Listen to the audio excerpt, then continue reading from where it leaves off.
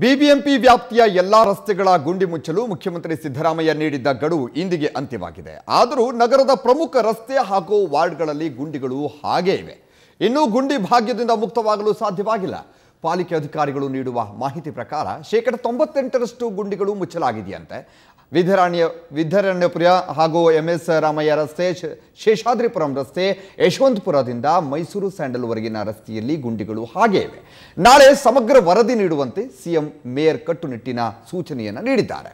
ಈ ಹಿನ್ನೆಲೆಯಲ್ಲಿ ಮಹದೇವಪುರ ವ್ಯಾಪ್ತಿಯಲ್ಲಿ ಪರಿಶೀಲನೆ ಮೇಯರ್ ಸಂಪತ್ ರಾಜ್ ಮುಂದಾಗಿದ್ದಾರೆ. ನೀಡಿರುವ ಗಡುವು ಮೀರಿದರೆ ಪಾಲಿಕೆ ಅಧಿಕಾರಿಗಳ ಮೇಲೆ ಕ್ರಮ ಜರುಗಿಸುವ ಎಚ್ಚರಿಕೆಯನ್ನು ಸಿಎಂ ನೀಡಿದರು.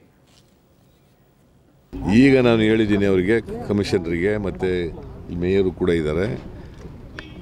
ಇನ್ನು ಹದಿನೈದು ದಿನದೊಳಗಡೆ ಇನ್ ಫಿಫ್ಟೀನ್ ಡೇಸ್ ಬೆಂಗಳೂರು ನಗರದಲ್ಲಿ ಎಲ್ಲ ಗುಂಡಿಗಳನ್ನು ಕೂಡ ಮುಚ್ಚಬೇಕು. ಇನ್ ಫಿಫ್ಟೀನ್ ಡೇಸ್ ಬೆಂಗಳೂರು ನಗರದಲ್ಲಿ ಎಲ್ಲ ಗುಂಡಿಗಳನ್ನು ಕೂಡ ಮುಚ್ಚಬೇಕು.